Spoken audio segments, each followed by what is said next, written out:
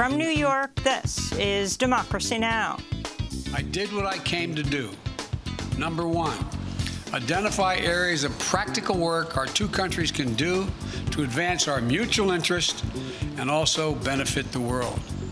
Two, communicate directly, directly, that the United States will respond to actions that impair our vital interest or those of our allies.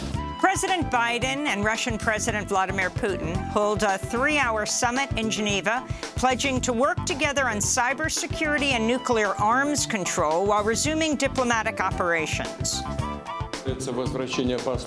As for the return of ambassadors to the locations where they work, to Moscow for the American ambassador and to Washington for the Russian one, we've agreed that this issue is solved. They return to their postings. We'll talk about U.S.-Russian relations with Anatol Lieven of the Quincy Institute for Responsible Statecraft. Then we look at the mayoral race in New York City and how ranked choice voting will be used to decide the winner. The candidates held their final debate last night. And the worst idea I've ever heard is bringing back stop and frisk and the anti-crime unit from Eric Adams, which one is racist, two is unconstitutional. You don't have to worry about danger when you have private security in your on your block. Uh, I don't and never will allow stop and frisk to be returned and abuse people. All that and more coming up. Welcome to Democracy Now!, democracynow.org, The Quarantine Report, The War and Peace Report. I'm Amy Goodman. President Biden and Russian President Vladimir Putin met in Geneva Wednesday for a three-hour summit.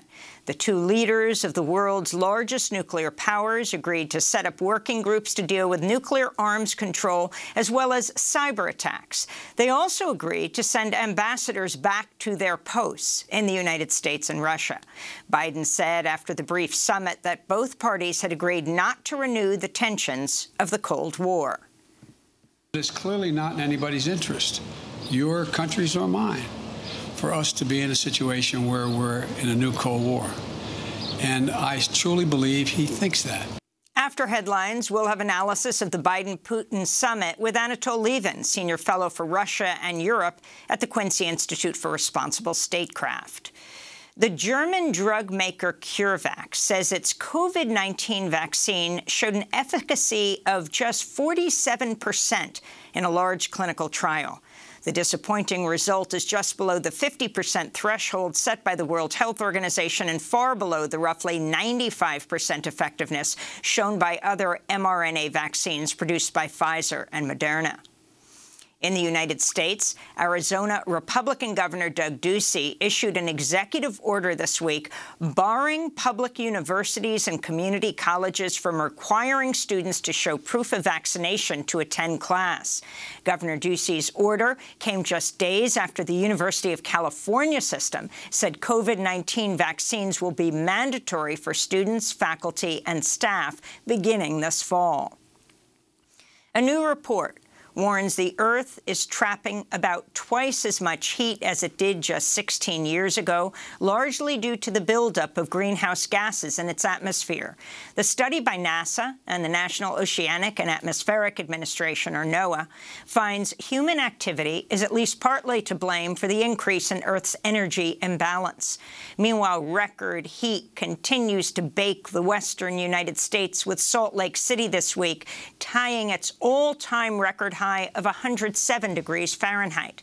The temperature in Death Valley, California Wednesday reached 129 degrees Fahrenheit or 54 degrees Celsius, just a few degrees shy of the highest temperature ever recorded on Earth the House of Representatives has passed a bill enshrining Juneteenth as a federal holiday commemorating the end of slavery. The celebration marks June 19th, the day in 1865 that enslaved people in Galveston, Texas, learned of the Emancipation Proclamation signed by Abraham Lincoln more than two years prior and that the Civil War had ended. Texas Democratic Congresswoman Sheila Jackson Lee, who's African-American, called the roll. On this vote, the yeas are 415 and the nays are 14. The bill is passed. Since the Senate passed the bill this week, the bill now heads to President Biden for his signature. Several members of the Congressional Black Caucus spoke in favor of the federal Juneteenth holiday, including New Jersey Democrat Bonnie Watson Coleman. Juneteenth is a day for me of commemoration, not of celebration. It because it reminds us of something that was delayed in happening.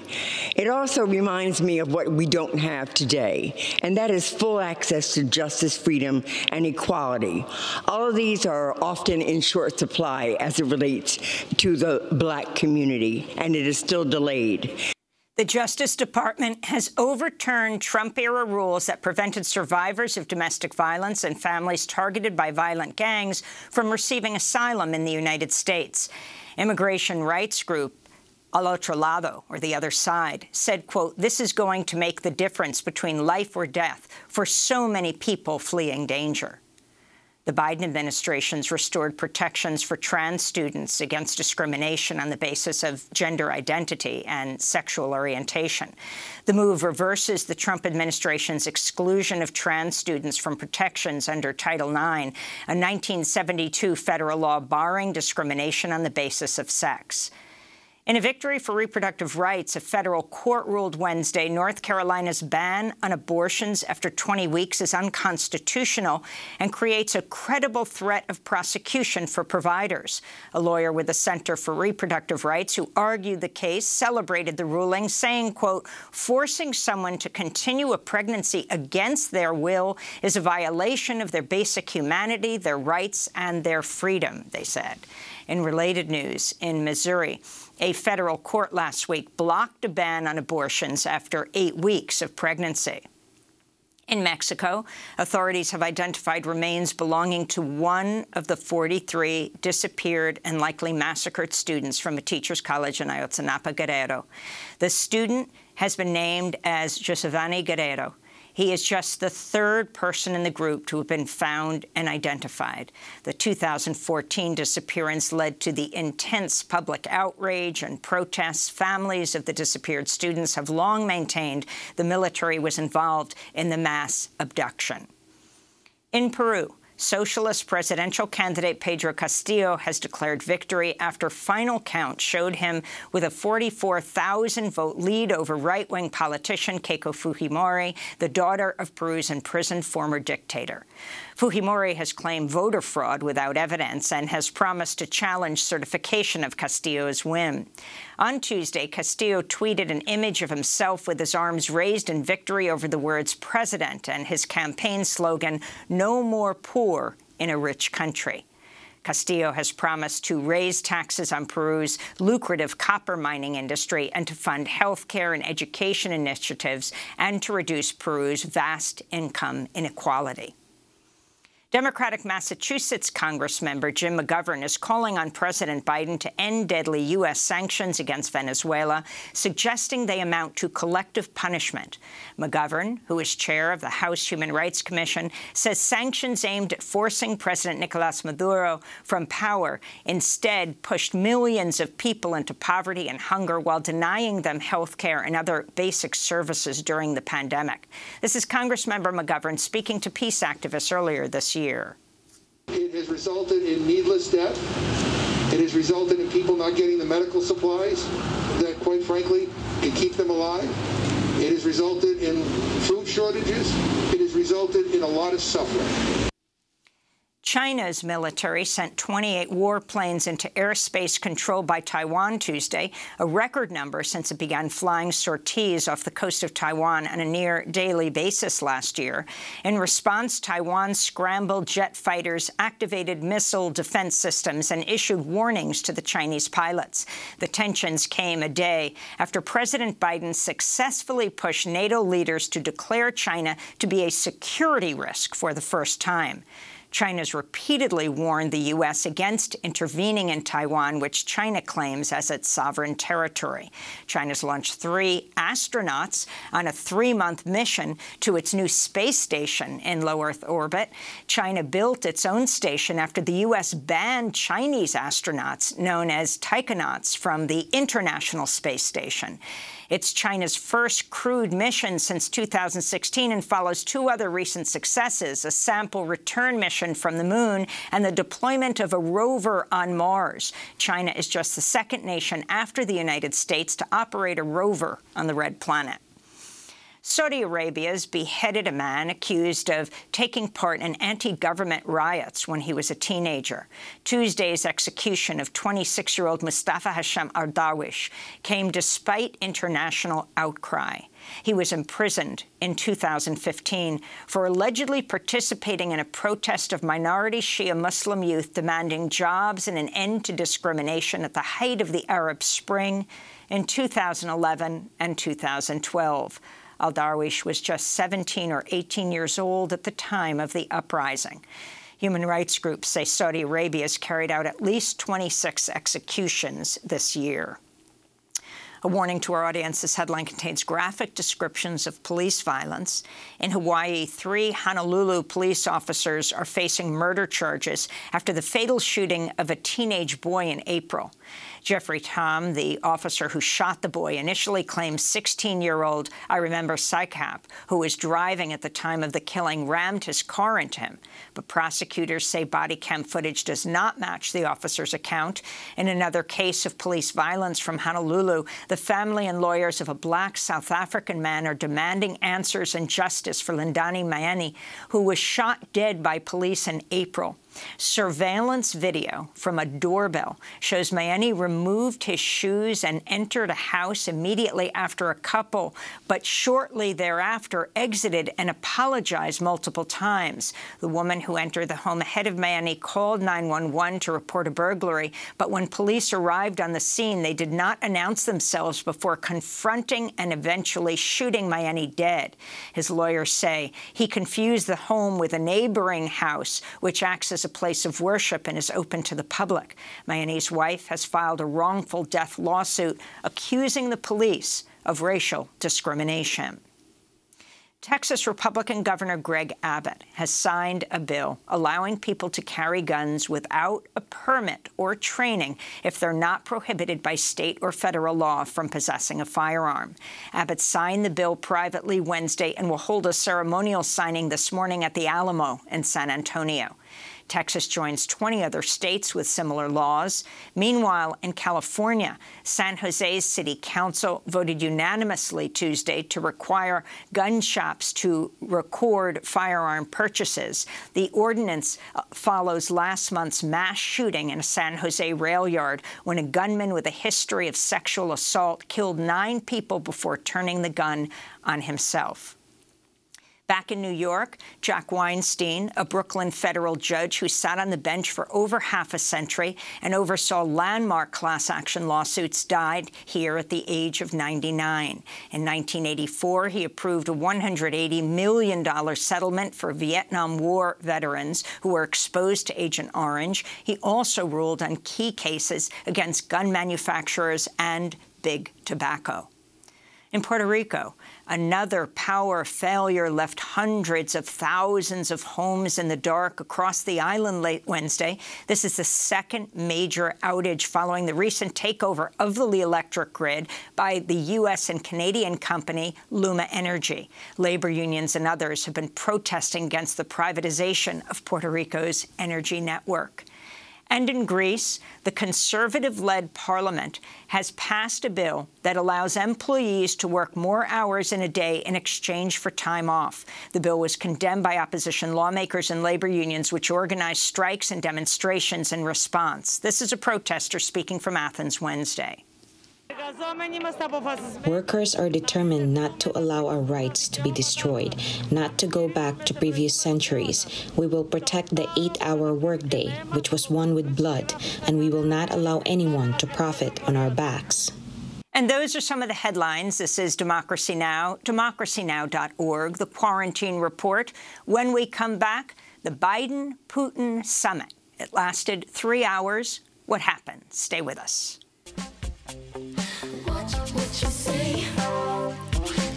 never mean a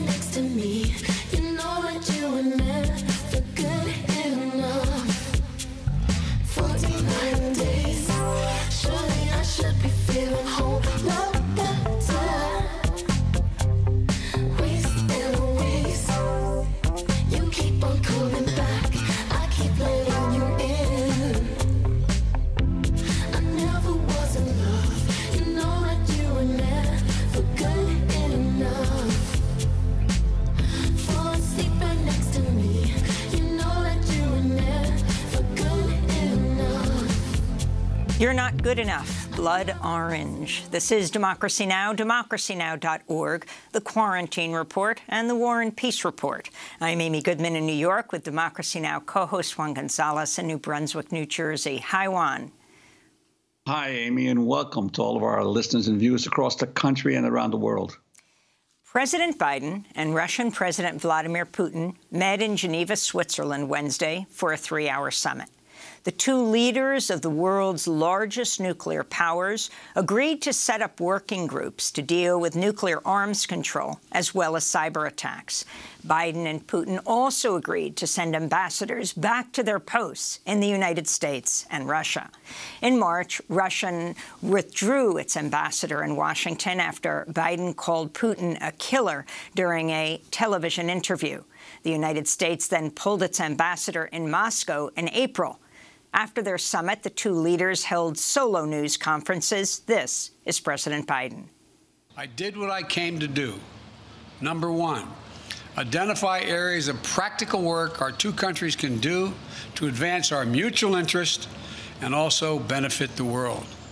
Two, communicate directly, directly, that the United States will respond to actions that impair our vital interest or those of our allies. And three, to clearly lay out our country's priorities and our values so we heard it straight from me. President Biden went on to warn there would be, quote, devastating consequences if jailed Russian opposition leader Alexei Navalny died. Biden also warned the U.S. would use its significant cyber capability if Russia waged a cyber attack on critical infrastructure in the United States. Putin described the conversation with Biden as constructive. I believe that there was no hostility. On the contrary, our meeting, of course, took place in a principled manner. Our assessments on many points differ, but in my opinion, both sides demonstrated a desire to understand each other and look for ways to bring their positions closer. The conversation was very constructive. After Biden's news conference ended, CNN reporter Kaitlan Collins yelled a question to the president. Why are you so confident he'll change his behavior, Mr. President? I did, I'm not confident he's changed his behavior. What the hell? What do you do all the time? When did I say I was confident? I said, I said, what I said was, let's get it straight. I said what will change their behavior is if the rest of the world reacts to them and it diminishes their standing in the world. I'm not confident of anything. I'm just stating the fact. But given his past behavior has not changed, and in that press conference after sitting down with you for several hours, he denied any involvement in cyber attacks. He downplayed human rights abuses. He even refused to say Alexei Navalny's name.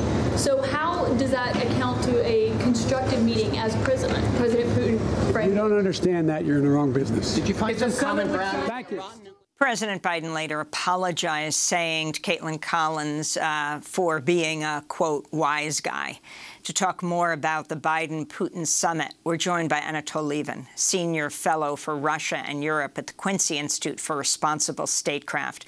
He's the author of numerous books on Russia and the former Soviet republics. His most recent book, titled Climate Change and the Nation State, The Case for Nationalism in a Warming World. It'll be released as an updated paperback in September. He's joining us from Doha.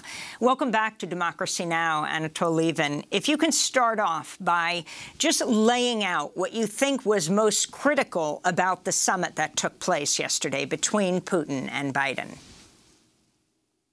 First of all, it restored normal diplomatic relations of a kind which exist between most countries on the face of the earth. Ambassadors have gone back. Hopefully, consular officials will go back. You know, ordinary personal exchanges will will be restored. And you know that, that is of considerable importance in itself, and helps open the way for other things. Secondly, uh, uh a more cooperative atmosphere has been established so that uh, the USA uh, and Russia can work together, as President Biden stressed, uh, in areas where their common interests do actually coincide. Afghanistan was mentioned. It was mentioned by both leaders in the context of terrorism, but um, actually, after the US military withdrawal, Russia and other neighbors of Afghanistan will be critical uh, to the success of any peace process or any hope of stabilizing Afghanistan. Um, so that was very important. And uh, we saw the beginnings I mean, only the beginnings, of course, of talks which could in future uh, lead to agreement on further nuclear arms reductions. I mean, in principle, that should not be difficult. I mean, both the USA and Russia have far, far more missiles than they actually need. China has demonstrated you can have a, a perfectly credible nuclear deterrent with a fraction of those numbers. And equally importantly, uh, has begun the process or continued the process uh, of negotiation of a treaty on cyberspace. That will take a long time and will be very difficult. It may not happen, but you, know, you have to start somewhere. Uh, and finally, uh, and I, I, think that is very important, uh, both uh, leaders set out their red lines. Um, at least we know Biden did because he said so, you know, which is uh, attacks on critical US uh, infrastructure, cyber attacks, uh, and uh, if Navalny dies. But um, Putin you know, restated Russia's strong opposition to further NATO enlargement, and Russia has made it, well, has actually fought on a couple of occasions uh, over precisely that issue.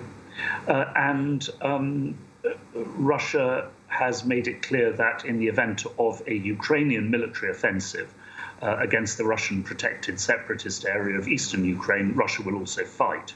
So I think um, those are the, the, the, the main positive results of this summit.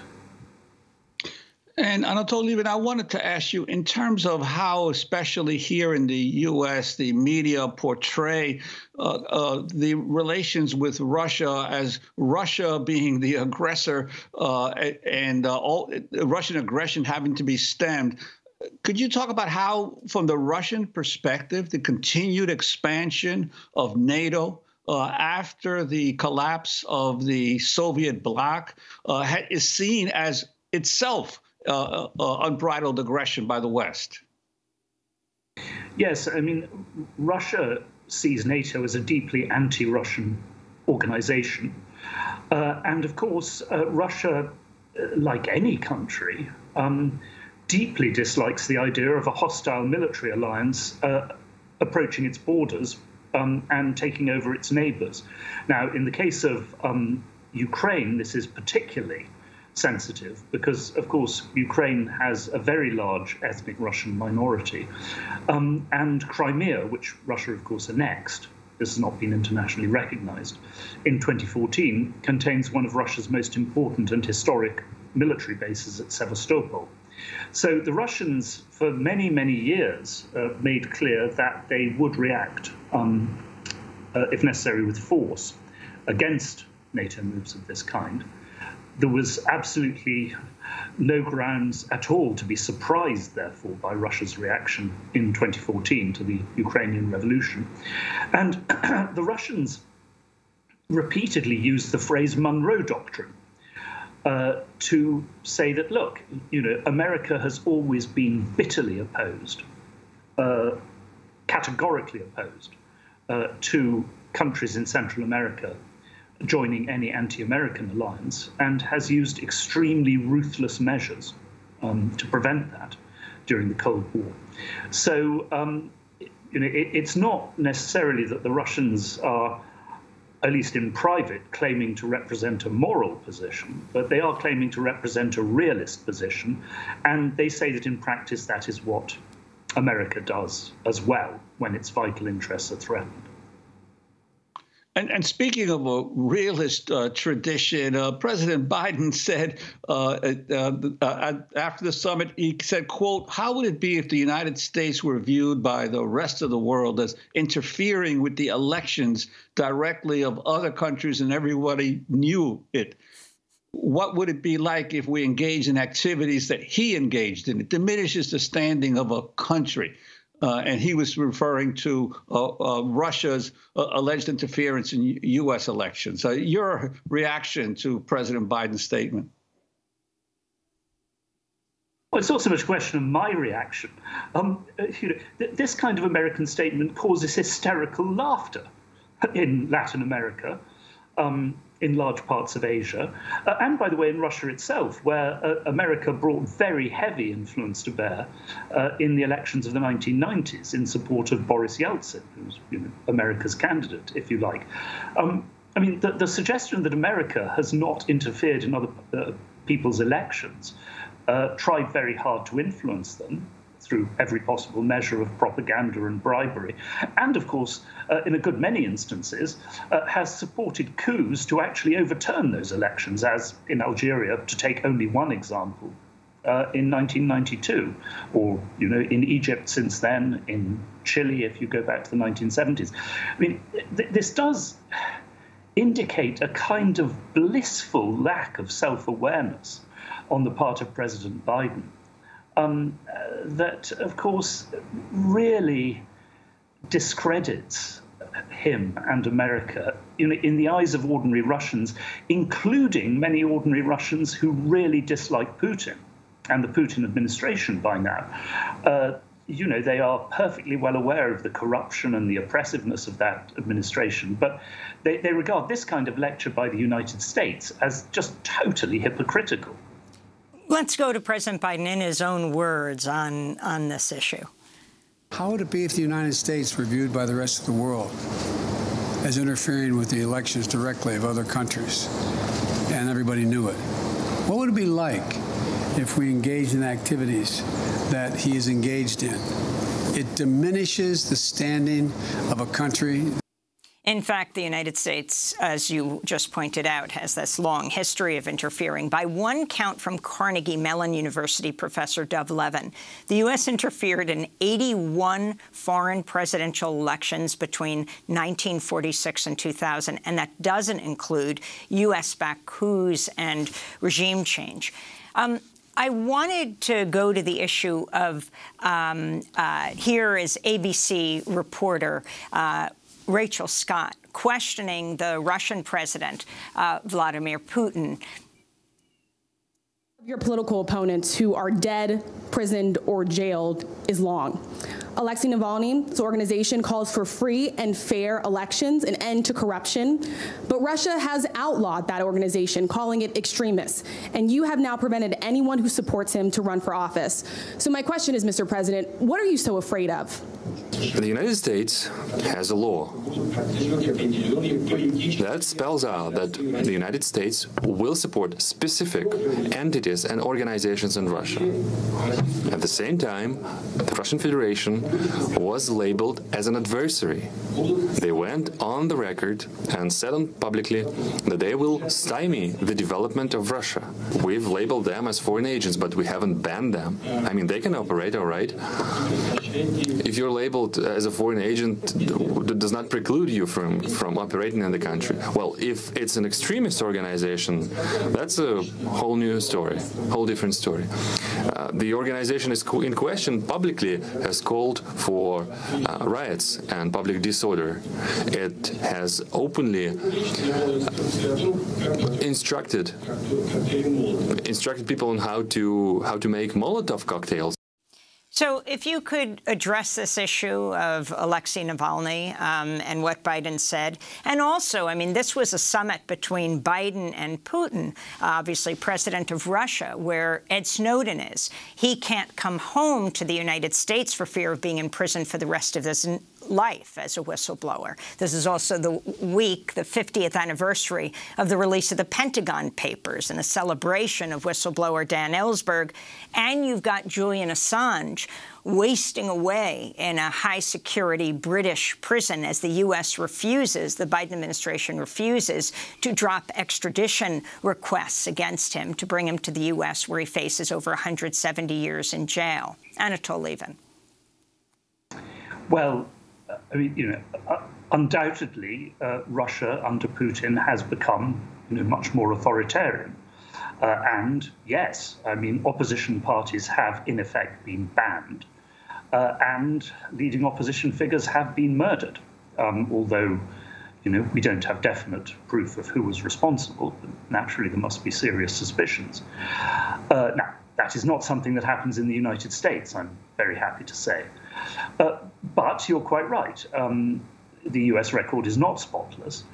And uh, I was frankly astonished uh, earlier this year uh, when Belarus forced down a, a, plane in order to arrest an opposition journalist, uh, something which, by the way, I, I deeply condemn and oppose. Uh, but if we're talking of Edward Snowden, uh, of course, the United States and its NATO allies did exactly the same thing to the presidential plane of the president of Bolivia, forced it down in, in Vienna in order to search that plane for Edward Snowden.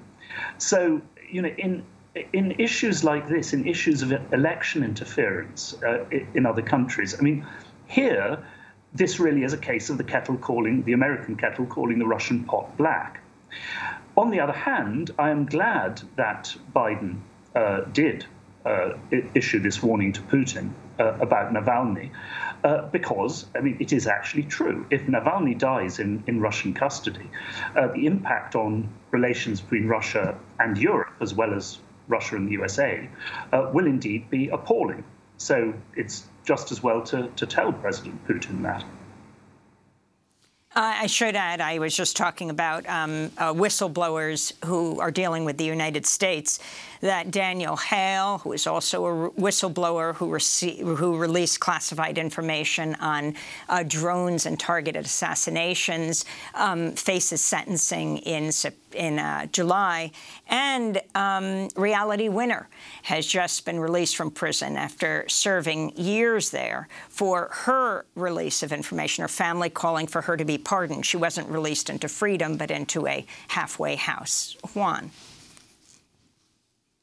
Yeah, I wanted to uh, go back to for a second to Afghanistan. How little was dealt with in terms of Afghanistan at uh, at this meeting of the uh, Putin and Biden, given the enormous uh, in, uh, impact that wars in Afghanistan have had in both countries. Obviously, Russia spent 10 years bogged down in, in a, a, war, occupation, and a war in Afghanistan against uh, jihadist uh, guerrillas and ultimately was defeated and had to leave. And the United States has spent more than 20 years, no, 20 years now, uh, in, uh, in Afghanistan. I'm wondering your sense of whether both leaders were, in essence, trying to avoid the issue.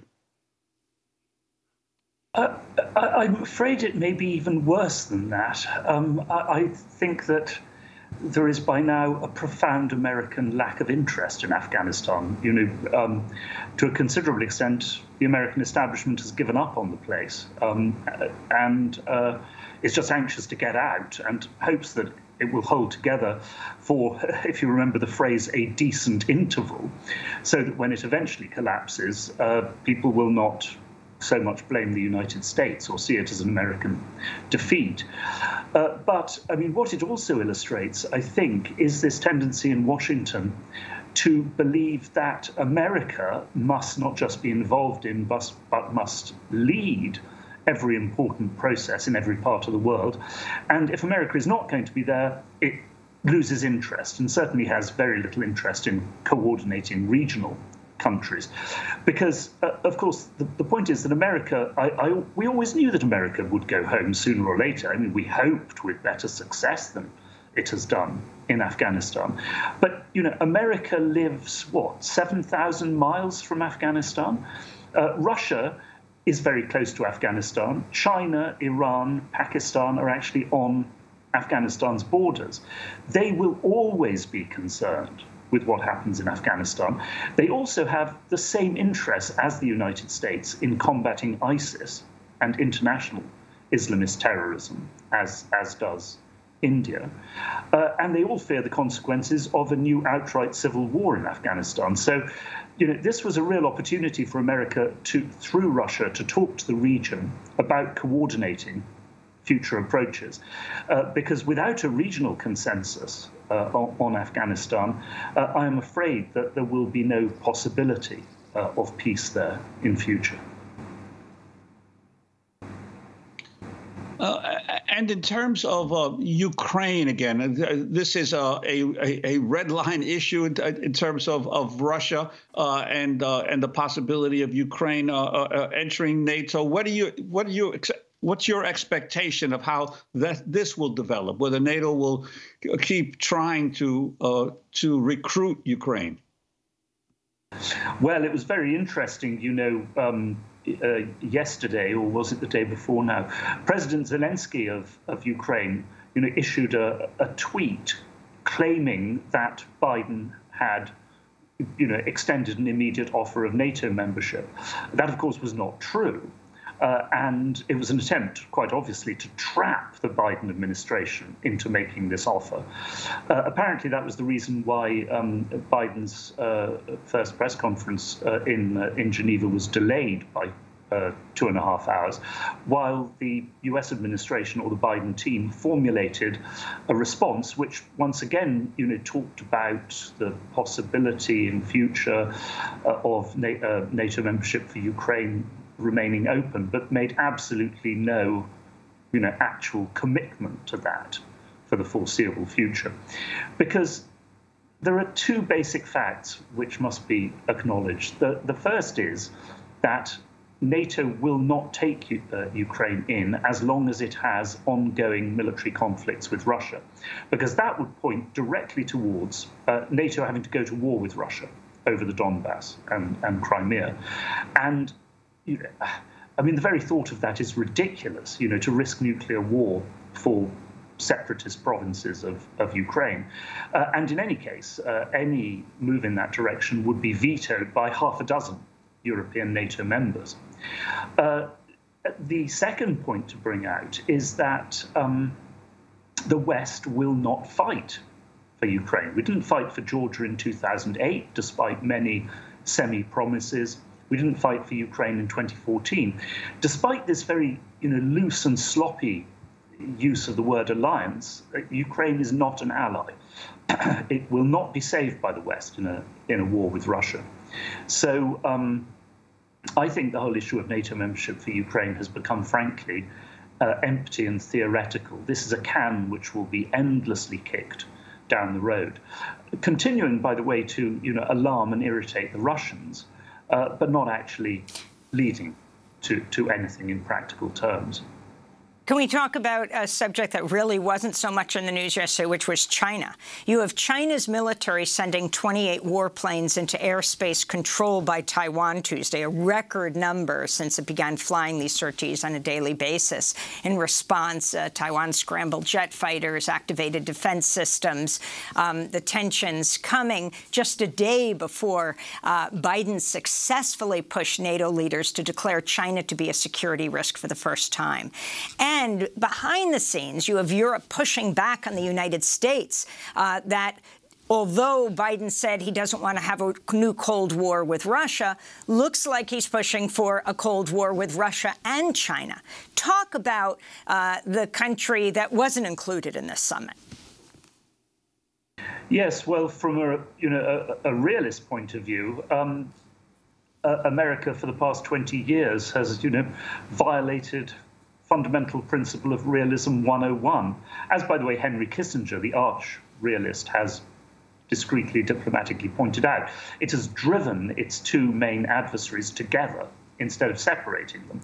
Uh, and um, instead of, as it did, you know, Kissinger and Nixon in the 1970s uh, took China, the weaker communist state, and turned it against the Soviet Union, the stronger one.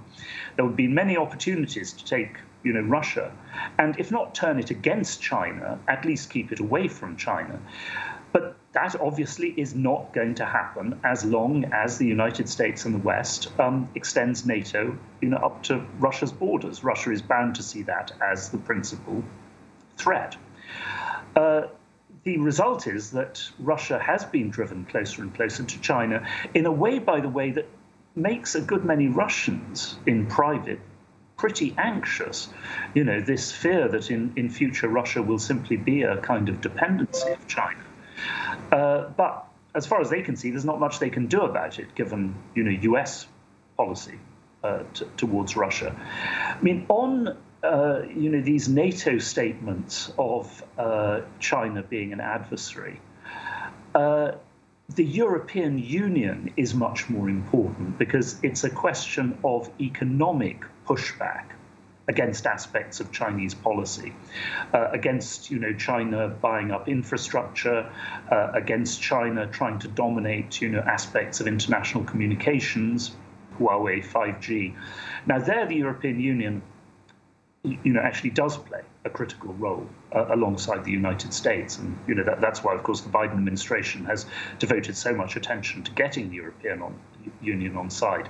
But NATO, frankly, given its miserable performance you know, in Afghanistan, and given that the, uh, Britain aside, the uh, the actual NATO offer of forces to sort of, if you like, side with America in the Indo-Pacific uh, amounts to date to one warship, one frigate or destroyer at a time.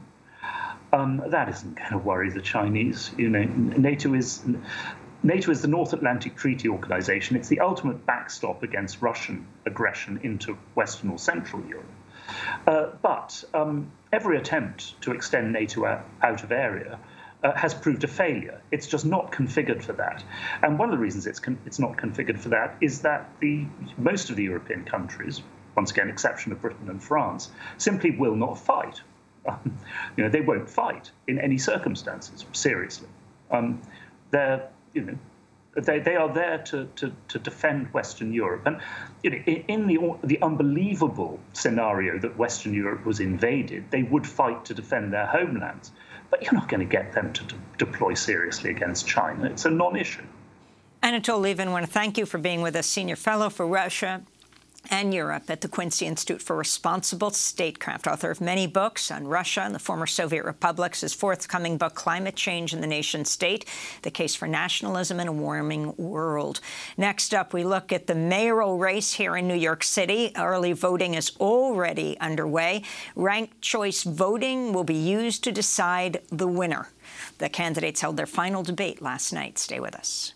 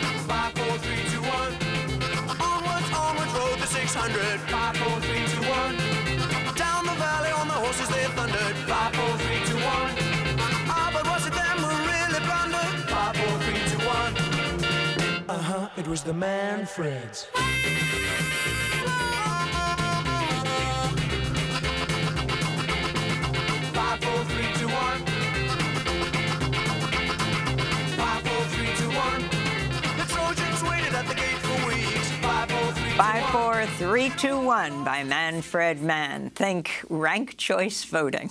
This is Democracy Now! I'm Amy Goodman with Juan Gonzalez. Yes, early voting is underway in a historic New York City Democratic primary election for the mayor and many other key races. It's the first time in a citywide election voters will use rank choice voting to choose up to five candidates in order of preference. In the mayor's race, Brooklyn Borough President, former New York City Police Captain Eric Adams has led recent polls, while businessman and former presidential candidate Andrew Yang seems to be falling behind. The race also includes civil rights attorney Maya Wiley, the former sanitation commissioner Kathryn Garcia, New York City Controller Scott Stringer, former nonprofit executive Dianne Morales, former federal housing secretary Shaun Donovan, and businessman Ray McGuire. The top mayoral candidates took the stage last night for a final debate. This spirit exchange came when the candidates were asked about the worst idea they've heard from their opponent. We'll hear from Eric Adams, Ray McGuire, and Dianne Morales. But first, Maya Wiley. My godson, who is six three, six foot three feet tall, black and beautiful. I've had to accompany him to court for riding his skateboard while black.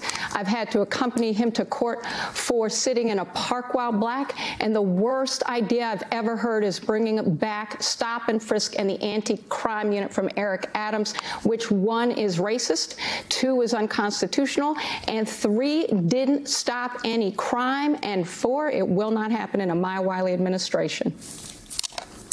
10 seconds, Mr. Adams. Uh, you don't have to worry about danger when you have private security in your on your block. Uh, I don't and never will allow stop and frisk to be returned and abuse people. I know real solution for real people in New York is you have private security. You don't have to worry about any of that stuff. Ms. Wiley. Uh, Eric Adams is feeling the momentum, and let me just say that the important issue for New Yorkers that everyone understands that public safety is broad, complex, and it means making sure we're spending our dollars wisely, and I will have a moral budget that protects all our people. Let's be very clear for black and brown communities, neither defund the police nor stop and frisk. You don't nor speak for private black and security. brown communities. How dare you assume to speak for black and brown Because I communities talk to as black a and brown monolith? communities. Because You I cannot to do that. You cannot do that. Oh, I the can. Yes, defund I- I movement just did. actually was started You know what? by young I black and did brown do it. people. You know what? I just do, did do it. can't You know what erase other- them in Candidates that can't way. talk over That's each not other. I'm gonna do it is not the truth for the community as a whole. Those last voices, Dianne Morales uh, taking on Ray McGuire, an excerpt from last night's New York City mayoral debate, uh, the last one before the June 22nd Democratic primary, though people are already voting. Uh, but that January 22nd, voters choosing also candidates for 51 city council seats from among hundreds of people running, as well as city controller, who's the city's chief fiscal officer and budget watchdog, and the Manhattan district attorney. For more, we're joined by Ross Barkan, an investigative journalist who's closely following the primary, a columnist for The Guardian and Jacobin. He also has a new book coming out next week titled The Prince, Andrew Cuomo, Coronavirus, and the Fall of New York. Welcome to Democracy Now! Now, Ross. So for an audience in the rest of the country and around the world, if you can talk about the significance of the mayoral race, uh, its ups and downs, um, and who really is uh, vying to run this city. Sure. So New York City obviously is by far the biggest city in America. And, and while I wouldn't necessarily call it a trendsetter, you are having far more people vote in this municipal contest than any other municipal contest in any other city. It's really more akin to a statewide race. So there are millions of registered Democrats, probably 800,000 Democrats are going to vote next Tuesday. So, you know, the winner is really will be competing and, and trying to win many different uh, factions and that are somewhat representative of the Democratic Party. So, so New York, while as a reputation is very much a left of center city, and it is, it's much more progressive than it used to be. There are still a wide array of different people who are coming to vote. It's an incredibly diverse electorate. You have black voters, you have Latino voters, you have Orthodox Jews, you have um, young, affluent voters and educated voters, you have working class voters it really is this tremendous mix of people. And while I, wouldn't go as far to say that the winner can say something about the future of the Democratic Party, you can say that, that within New York City, there is an incredible amount of diversity, even in that Democratic electorate. And right now, there are four candidates, I would say, who really have a shot. You know, the famous one is Andrew Yang, the former presidential candidate and entrepreneur. There's Eric Adams, the Brooklyn Borough president, who's a former police captain, would be the city's second black mayor. And there are two women who are competing to be the first female mayors of New York City ever, and, and that is Maya Wiley, who uh, worked for Bill de Blasio as his counsel, Bill de Blasio, the outgoing mayor,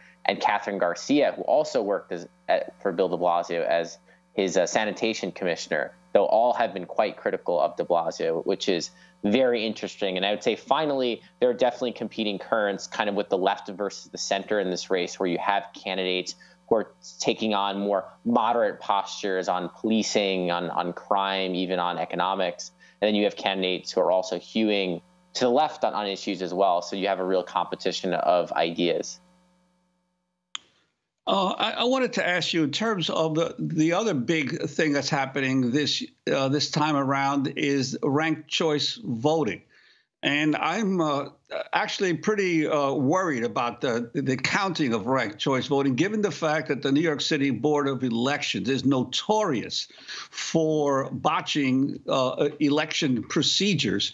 Uh, and now they're going to be dealing with this very complicated system of, uh, of, determining who the winner is. I, I, worry this thing, this thing could go on for weeks and months in terms of challenges to even figure out who won. Wondering your sense of to what degree voters understand ranked choice voting. Voters, I think for a long time did not have a great understanding. I do see the awareness increasing a lot. You're seeing interviews with voters who are now going to vote in early voting who say, Yes, I understand. I early voted myself and I've seen the ballot. It is clearer than I thought it would be, which was good. I agree, though, the Board of Elections in, in New York City and New York State is notoriously dysfunctional and patronage ridden.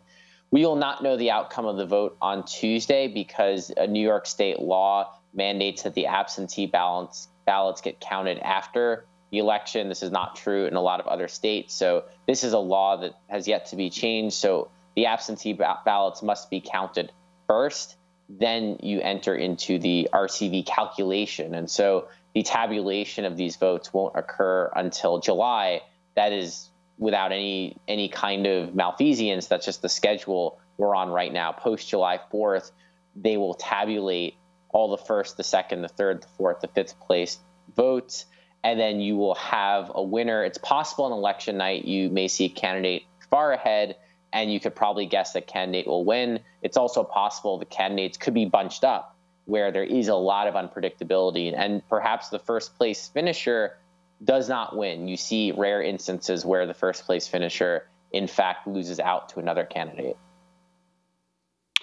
And I wanted to uh, ask you the, the battle over who's the progressive candidate here. It's it, clearly Maya Wiley has been emerging in recent weeks as the as the the standard bearer of of many of the progressives uh, in New York City. Uh, but I, I, I know several of these people. I've known them for years. I've I've known Eric Adams personally for more than 30 years, and uh, uh, while he has been portrayed as the more conservative candidate, uh, people forget that when uh, I knew him when he was a sergeant in the uh, in the transit police in New York City, uh, fighting racism within the department uh, and and also fighting police abuse within the department. It's a lot harder to fight police abuse from within the department than it is from outside the department. But there's no doubt he's increasingly become more conservative as years have, have gone on. I'm wondering, uh, among these candidates, who do you uh, uh, who, who, do you see as uh, having the momentum in recent months uh, to uh, potentially win?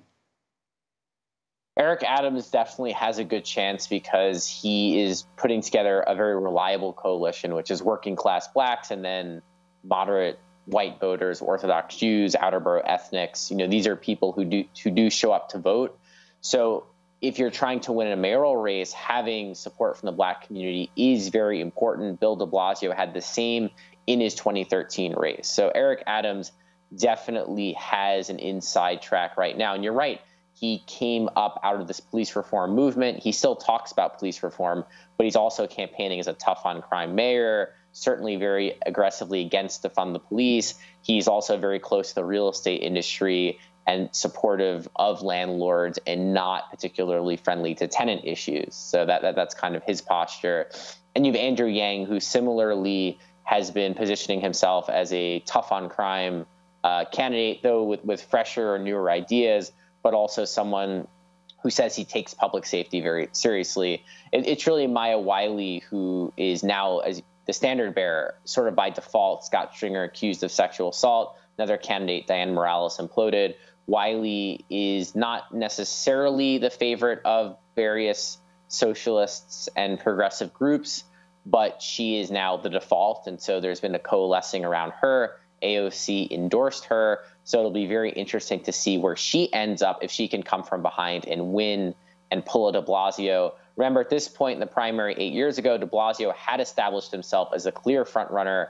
Right now, that's Adams, but Adams does not have the lead that de Blasio did have in 2013. So I, I would say the race is much more volatile than it was back then. And you have this front page piece in the New York Times a few days ago saying, I mean, here you had Maya Wiley, who's gotten the endorsement of Alexandria Ocasio-Cortez, 1199, the Union, uh, and other progressives. Uh, but you, the front page piece was about de Blasio, even though she was his lawyer, um, a city lawyer, um, uh, working behind the scenes for Adams, saying in that way he would preserve his progressive legacy. Yeah, it's a strange thing because I would not agree with de Blasio that Eric Adams is best positioned to preserve his legacy. But the thing with politics is a lot of it's personal. Eric Adams and Bill de Blasio go back a long time. Eric Adams, I would say, unlike a lot of other politicians, was not known for attacking Bill de Blasio when he was mayor. It was not known for gratuitous criticisms of Bill de Blasio when he was mayor. Uh, the two always seemed to have an understanding. Both Maya Wiley and Kathryn Garcia worked for de Blasio, now have been quite critical of him and also, you know, not partic- don't speak warmly about their time in City Hall. So I can imagine for de Blasio himself, he is aggrieved that he gave both of them jobs and promotions and they are not grateful in any way. Uh, that's politics. I mean, uh, uh, I'd say unfortunately, it's not always about policy and ideology. It, it can be about these kinds of relationships. So Eric Adams is the person Bill de Blasio feels most personally comfortable with. He is trying to rally organized labor behind Adams. He's been pretty successful at that. And, you know, so far the race is going I would say de Blasio's way, and that Adams is the favorite and Yang has lost strength, but anything can happen on primary day. There's still a lot of variables. And of course, you mentioned Kathryn Garcia, who uh, surprisingly the, the, uh, it's gotten the editorial endorsements uh, in, the, in the major papers, including the New York Times. And there are some analysts who believe that because, due to ranked choice voting, she may not come out at the top of the uh, uh, at the front of the pack, but through ranked choice voting, she may end up uh, actually uh, winning the primary. Your your sense of Kathryn Garcia's role? She's definitely come on very strong. The, the New York Times endorsement was a big surprise. Um, originally, I would have guessed Scott Stringer would have gotten it, but then he was accused of sexual assault, so that fell by the wayside. Then I personally imagine that Maya Wiley would get it because she was positioning herself as a liberal candidate, sort of in the in the mold of what the New York Times usually endorses. But they really went out of left field a bit and, and supported Kathryn Garcia, who's really running as a technocratic moderate, someone who's supportive of charter schools, someone who is against taxing the rich, someone who is fairly supportive of the real estate industry and skeptical of rent stabilization. That being said, I think unlike Eric Adams, Kathryn Garcia is less alienating to some voters. You know, Adams and Yang each have the challenge of ending up on a lot of ballots. You know, both of them now um, have the potential to be dropped from the ballots of a lot of highly educated progressives and high information voters. You know, each of them have sustained negative news cycles. and Each of them cause voters who read the New York Times to recoil. Kathryn Garcia does not. So she does have some potential because she's going to show up on a lot of ballots. Andrew Yang himself helped elevate her when he said she was his number two, and it's possible that will backfire on him in the end because she is going to be people's number twos, and she, we're going. We're going to have to leave it there, but I thank you so much for being with us. Ross Barkan, his new book, The Prince. I'm Amy Goodman with Juan Gonzalez. Stay safe.